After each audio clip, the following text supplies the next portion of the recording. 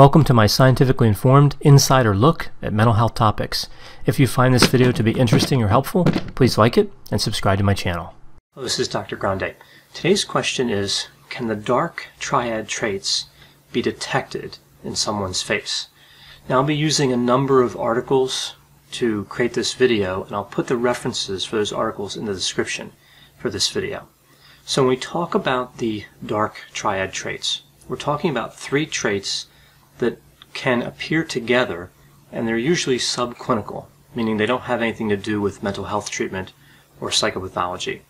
The three traits are psychopathy, narcissism, and Machiavellianism. So with all three of these traits, we see manipulation of different types, and then specifically with psychopathy, we see traits like being callous, unemotional, pathological lying, having a lack of empathy, remorse, or guilt. With narcissism, we see arrogance, a sense of entitlement, being envious, having fantasies of success and power, feeling special or unique, and it also has a lack of empathy component.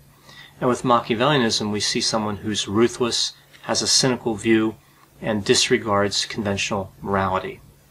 So you can see there's some overlap, quite a bit actually, between these dark triad traits. And there's this theory that you can detect the dark triad traits just by looking at someone's face. Now, we're not talking about facial expressions. That would make it a lot easier because there's a lot of distinctive facial expressions aligned with some of those characteristics. But here I'm talking about emotionally neutral expressions.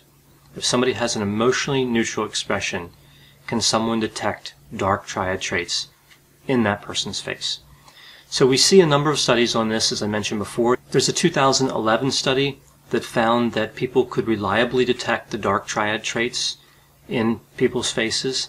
There's another study in 2018 that attempted to replicate the 2011 study, and they found that people could only reliably identify grandiose narcissism, which is the type of narcissism we would see in the dark triad. But they could not identify psychopathy or Machiavellianism. Now, these studies used computer generated composites of faces, so not the faces of individuals, but many faces brought together using computer software. And again, we have a difference here with psychopathy and Machiavellianism. So there's some consensus that with emotionally neutral expressions, narcissism may be detectable. And of course, what they're talking about here is the shape, texture, and structure of the face. Without the expressions, that would really, really all you'd have to go on. And this could be genetic, so it could be just that the way it works with genetics, that someone's narcissistic and they also have these other characteristics in their face, or it may be that the facial structure and other features lead to somebody being more narcissistic. But really, if we look at these two studies, I'm still a bit skeptical that this is actually a reliable finding, a valid finding. Again, you didn't have good replication from the 2011 over to the 2018 study only the narcissism component really stayed in place. And looking at some of the other statistical properties in terms of the results, I'm not convinced this is really an excellent finding, that it's highly accurate. Now, there was another study published in 2018 that looked at a similar question. Instead of all the dark triad traits, they wanted to see if just narcissism could be spotted. And they had an interesting finding in the study around facial features. So the theory here is, in this particular study, is that the eyebrows are indicative of narcissism, specifically thicker, denser eyebrows. And what they found here is that individuals could more reliably spot narcissists as long as the eyebrows were in place, again, using computer generated composites. But when the eyebrows were missing, when they were taken out using the software, individuals could no longer reliably spot the narcissist. So this is really supporting this idea that the eyebrows indicate narcissism. So one of the theories with this paper would be that narcissists must selectively alter their eyebrows to appear more attractive. And we know that narcissists do tend to make changes in appearance more so than non-narcissists. For example, they tend to wear more fashionable clothing, expensive clothing, clothing that tends to be more stylish. They tend to be more organized in terms of their appearance, neat, and they tend to be more attractive, again, because of changes they make to their appearance. Again, due to changes they make to their appearance, not necessarily attractive genetically. Not that way, just by the changes they make, again to clothing and other areas.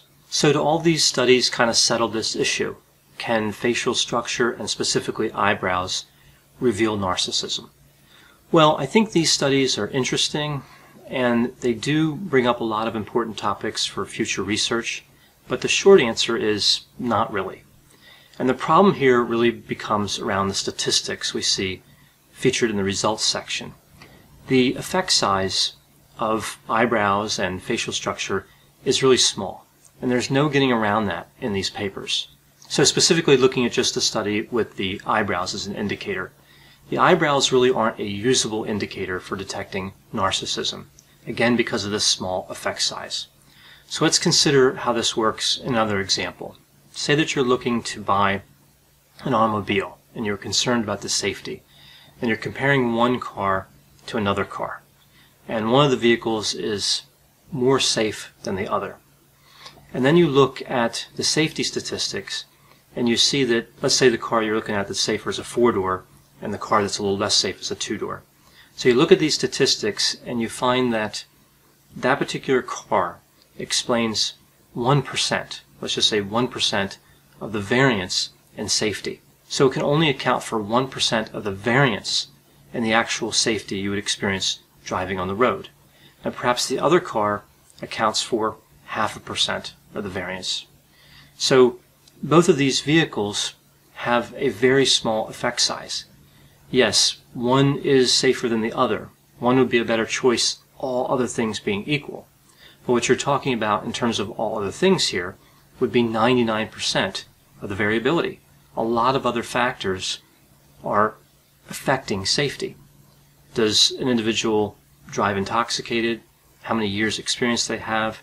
Do they drive in safe conditions? Is the vehicle well maintained? Are they driving in the daylight as opposed to night? There's so many other indicators of safety other than that four-door car versus that two-door car. Again, in this example, and these aren't real numbers, I'm just using this as an example. So yes, you may choose the safer car, but it's really not impacting safety that much. And that's what we're really seeing here with the eyebrows as an indicator for narcissism. Yes, there's a significant finding, meaning the finding here that people could reliably identify narcissism with eyebrows was statistically significant. It probably didn't happen by chance, but that doesn't mean the finding is important. And that's really the difference between statistical significance and effect size. If you look at ways to detect narcissism, behavior is a much better predictor. Seeing if somebody has all those characteristics, like they're arrogant and have a sense of entitlement and tend to manipulate other people and have a grandiose sense of self-importance those behaviors are much better predictors than what type of eyebrows they have. And the same logic can really be applied to those findings in terms of facial structure. Yes, facial structure may give some indication as to who is narcissistic and who is not, or what levels you may expect to see. But it's not a good predictor. Behavior is a much better predictor. What happens with a lot of these articles, this eyebrow article, for example, is that individuals put these in blogs and videos just looking at the central finding, that people can identify a narcissist using their eyebrows better than they would be able to by chance alone. But that's not really the whole story.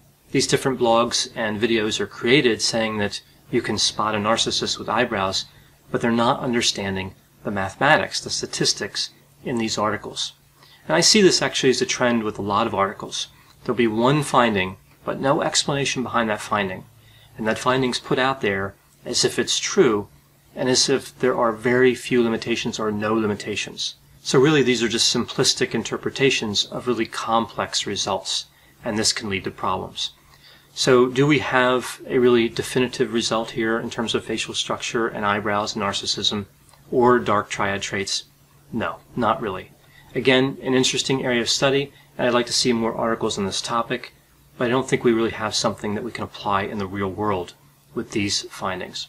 Now, of course, this is just my opinion. I know whenever I talk about narcissism and dark triad traits, there are a lot of different opinions out there. If you have any thoughts on facial structure, eyebrows, or other facial features that may point to narcissism, please put those in the comments. As always, I hope you found this description of the dark triad traits and facial structure to be interesting. Thanks for watching.